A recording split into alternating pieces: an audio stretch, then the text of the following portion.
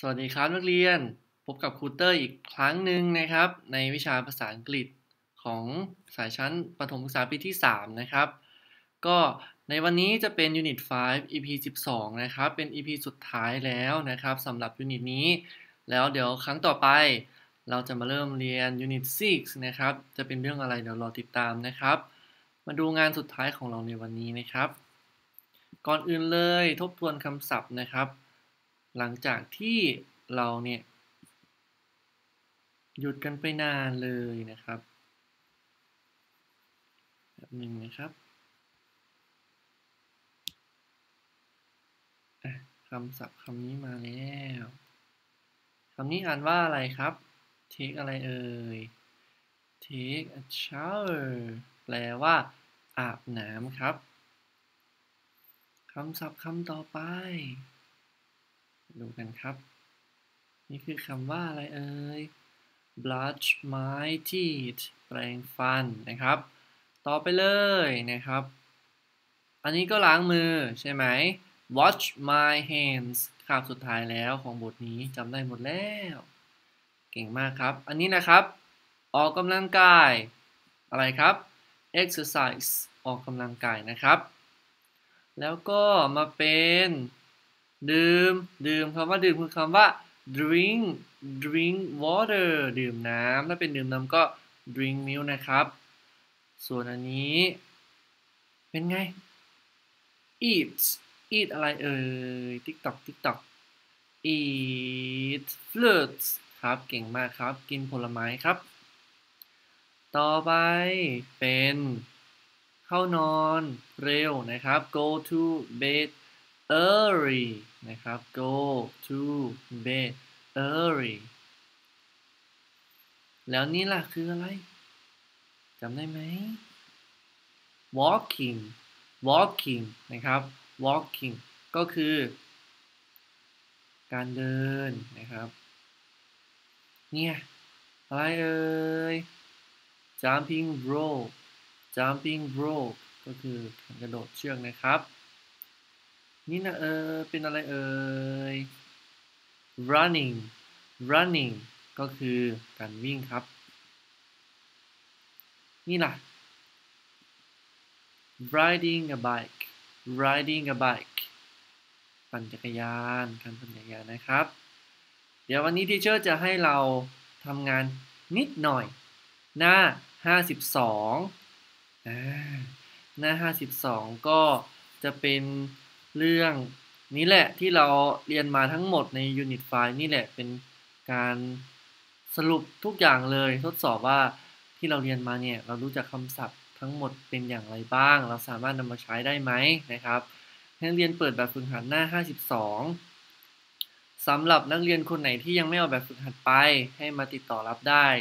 ที่โรงเรียนเหมือนเดิมนะครับ หรือว่าถ้านักเรียนคนไหนทำหาย นี่เห็นไหม ราคา 40 บาทครับ ไปซื้อได้เลยไม่เป็นไร หรือว่าถ้าไม่สะดวกซื้อก็ถ่ายเอกสารเอาเฉพาะยูนิตที่เรายังไม่ได้เรียนก็ได้ อันไหนเรียนมาแล้วไม่ต้องถ่ายนะครับถ้าอยากประหยัดเข้าไปอีกนะครับ ก็อันนี้เนี่ยเขาให้เราเขาบอกว่า use some words in the box to complete this letter ให้ใช้คำศัพท์เราเนี่ยเนี่ยในบล็อกเนี่ย มาทำเป็นประโยคที่สมบูรณ์ ในจดหมายเนี่ยให้จดหมายมันสมบูรณ์นะครับ ก็คุณครูก็ลองแต่งประโยคให้ดูนะครับต้องเรียนดูอันแรกเลย brush my teeth brush my teeth แปลว่าอะไร แปรงฟัน อะครูก็มาแต่งประโยค I brush my teeth every day ฉันแปลงฟันทุกวัน ถ้านักเรียนคนไหนที่แปลงฟันทุกวันก็สามารถเลือกอันนี้ได้เลย นี่เห็นไหมแปลงฟันทุกวัน ต่อมาคำว่า exercise I exercise every day แปลว่าอะไรครับ นี่นี่นี่ครูมีคำใบ้ให้ตรงนี้นะ ดูดีๆ คิดว่ามันคืออะไร นี่นี่นี่นี่นิดนึงนิดนึงนิดนึงตอบถูกไหมเฉลย ฉันออกกำลังกายทุกวันครับ ต่อมาคำว่า jog วิ่งเหาะๆนะ ไม่ใช่ run วิ่งนิดหน่อยไม่ไม่วิ่งเร็วเท่า run วิ่งนะครับ jog I jog every day ฉันอะไรแปลดูสิ เห็นไหมมองเห็นไหมครับ ฉันวิ่งเหยาะๆในทุกวันนะครับ แล้วต่อมาก็เป็น eat fruits คำว่า eat เนี่ยแปลว่ากินส่วน fruits แปลว่าผลไม้นะครับ ก็เป็น I eat fruits every day สำหรับนักเรียนคนไหนที่ กินผลไม้ทุกวันก็เลือกประโยคนี้ได้เลยนะครับนี่ฉันกินผลไม้ทุกวัน ต่อมา take a shower take a shower แปลว่า อะไรครับ อาบน้ำอ่าทีเชอร์ก็มาแต่งประโยค I take a shower every day เนี่ยก็ก็แค่มีประธานนี่เห็นไหมประธานก็คือ I แล้วก็คำกริยาก็คือเนี่ย take a shower ก็คือคำในบล็อกเนี่ยเป็นคำกริยา ส่วน everyday เป็นส่วนขยายว่าเราทำสิ่งนี้ทุกวันหรือเปล่า เข้าใจไหม หรือถ้านักเรียนไม่ทำทุกวันนักเรียนก็ไม่ต้องเขียนคำว่า everyday นักเรียนก็เขียนแค่เอ่อเอ่อ only Monday อย่างนี้ หรืออะไรก็ได้อื่นๆนะครับ แต่คุณครูอยากให้เราเลือกคำที่ง่าย ๆ ประโยคที่ง่ายๆคุณก็เลยหาอะไรแบบนี้มาให้เราดูเพื่อจะได้เข้าใจง่าย ๆนะครับานักเรียนนักเรียนคนไหนสามารถเขียนอย่างอื่นนอกจาก everyday ก็เขียนมาได้เลยจะดีมากเลยนะครับ เดี๋ยวครูจะดูตอนครูตรวจแบบฝึกหัดนะ ก็ I take a shower every day แปลว่า ฉันอาบน้ำทุกวันแล้วก็สุดสุดท้ายของหน้านี้ก็คือ run แปลว่าวิ่ง I run every day นะนักเรียนคนไหนที่วิ่งทุกวันนะครับ ก็เลือกประโยคนี้ได้เลย โอเคไหมทีนี้มาดูอีก ต่อมา go to bed I go to bed every day ฉันเข้านอนทุกวัน หรือบางคนไม่ได้นอนเลยมีไหม บางคนนอนบางวันมีไหม ไม่มีนะครับต้องนอนทุกวันนะครับ ฉันเข้านอนทุกเข้านอนเร็วทุกวัน I go to bed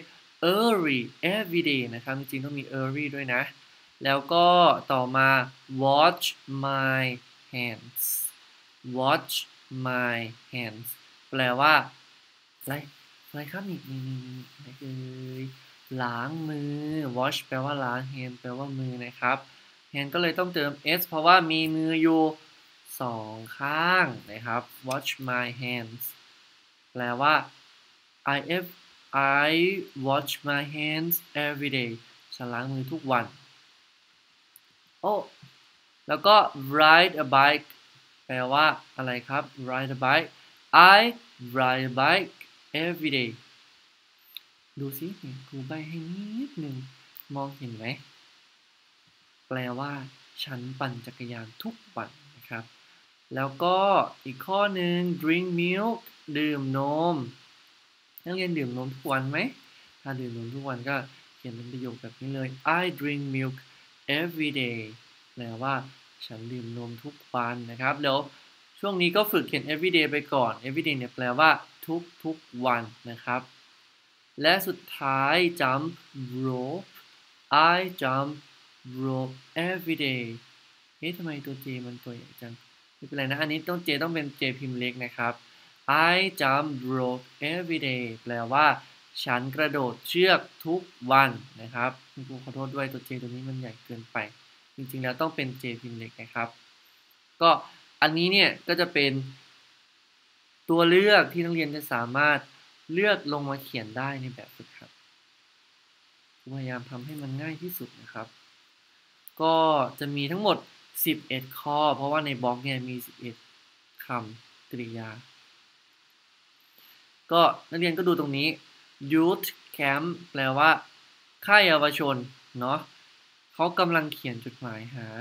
ใครครับ dear mom ใคร mom ก็คืออะไรเอ่ย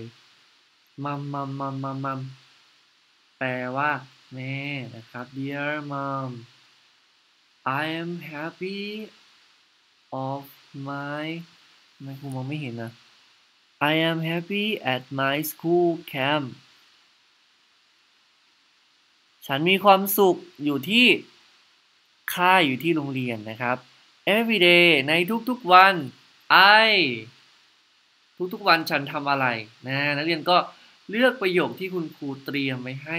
เขียนลงไปได้เลย เพื่อความง่ายและความสะดวกและความถูกต้องนะครับ หรืออยากเขียนอื่นๆ เพิ่มเติมก็ได้นะครับครูไม่ว่า เป็นการเขียนจดหมายหาคุณแม่เดียมัมเขียนเสร็จแล้ว ก็อย่าลืมลงท้ายด้วย love เห็นไหม L O V E love แปลว่า รักรักแม่นะ แล้วก็เขียนชื่อตัวเอง เอาเป็นชื่อเล่นก็ได้หรือเป็นชื่อจริงก็ได้นะครับ ตรงนี้นะครับ นักเรียนจะจะเลือกทั้ง 11 ประโยคก็ได้นะครับ หรือว่านักเรียนจะเลือกเฉพาะประโยคที่นักเรียนทำทุกวันนะในจินตนาการของเราแล้วเมื่อเรามาเข้าค่ายที่โรงเรียนเราทำอะไรทุกวันบ้างนะครับ โอเคไหมสำหรับงานวันนี้ก็มีเพียงเท่านี้เดี๋ยวดูตัวอย่างคุณครูอ่าสมมติว่าของทีเชอร์เนี่ยก็จะเป็น I brush my teeth นี่วอข้อหนึ่งมาเลย I brush my teeth every day อย่าลืมเมื่อจบประโยค อย่าลืมใส่จุด full stop ด้วย เห็นไหมใส่จุดตรงนี้ด้วยนะครับ เห็นไหม teacher ใส่แล้ว แล้วก็อีกประโยคนึง teacher ก็เอาอันนี้มาเลยมาต่อได้เลย I exercise every day เห็นไหมหรือมีมากกว่านั้น นี่ teacher ไม่เอา I jog every day เอา teacher เอา I eat fruits every day ก็ได้ ก็เลือกเติมลงมา ก็เขียนให้มันได้สักสองสามบรรทัดก็อย่าน้อยเกินไป ถ้าเขียนได้เต็มก็จะดีมาก โอเคไหม อยู่บ้านว่างๆ ก็ฝึกอ่านภาษาอังกฤษเยอะๆ ถ้าขี้เกียจอ่านก็เปิด YouTube ฟัง ไม่ต้องฟังคลิปครูก็ได้ ฟังคลิปคนอื่นก็ได้ ถือว่าเป็นการเรียนรู้ทั้งหมดเลย หรือว่าจะดูซีรีส์ภาษาอังกฤษ หรือว่าจะดูการ์ตูนภาษาอังกฤษก็ได้ อย่างน้อยก็เห็นภาพแล้วมันได้ยินเสียงแล้วมันก็จะรู้เรื่องเข้าไปเองเรื่อย ๆ นะครับ อย่าคิดว่าฟังไม่รู้เรื่องแล้วไม่ฟังดีกว่าไม่ไม่เอา ฟังฟังเพลงก็ได้ครับ ฟังเพลงภาษาอังกฤษก็ได้ อย่างน้อยเราก็ได้ความรู้สึกสนุกมีความสุขในเสียงเพลง เดี๋ยวฟังบ่อยๆ ฟังบ่อยๆเราก็รู้เรื่องเองนะ แล้วก็ครูฝากให้ท่องคำศัพท์นะครับ ในคาบต่อไปชั่วโมงต่อไปนะครับ ครูก็จะให้ทำแบบทดสอบของ Unit 5เนี่ยบทที่ 5 เนี่ย ถ้าใครยังจำไม่ได้หรือว่า ยังไม่ได้ดูที่ครูสอนก็คลิกเข้าไปในช่อง YouTube ของครูเนี่ย ในนี้เนี่ยเนี่ยนะครับ แล้วก็ดูย้อนหลังได้ที่เขียนว่า Unit 5นะที่เป็นพื้นหลังสีเนี่ยสีเหลืองๆครีมๆเนี่ย ก็ดูย้อนหลังมาเลย หรือถ้าขี้เกียจดู ก็เอาหนังสือขึ้นมาดูคำศัพท์ ของบทที่ 5 นะ ดูคำศัพท์ไว้เพราะว่าเวลาสอบมันจะมันจะต้องมีคำศัพท์ที่บางคำเราอาจจะไม่รู้ หรือเราอาจจะจำไม่ได้ ก็ดูคำศัพท์บ่อยๆ แล้วจะได้จำได้ ไม่ต้องดูบทอื่น ดูแค่บทที่ 5 นะครับ บทที่ 5 บทเดียวนะ เตรียมไว้สอบในคาบต่อไป ข้อสอบก็ มี 10 ข้อเป็นการสอบเก็บคะแนนนะครับ นักเรียนต้องตั้งใจนะครับ ยิ่งช่วงสถานการณ์แบบนี้ไม่ค่อยได้มาโรงเรียน ให้เรียนที่บ้าน ก็ต้องตั้งใจเรียนด้วยนะ ต้องรับผิดชอบต่อตัวเองนะครับ ก็ขอให้นักเรียนเตรียมตัวในการสอบในคาบต่อไปให้พร้อมนะครับสำหรับคราวนี้ก็ทีเชอร์มีเรื่องที่จะมาสอนพวกเราเพียงเท่านี้นะครับเดี๋ยวไว้เจอกันคาบต่อไปครับ บ๊ายบาย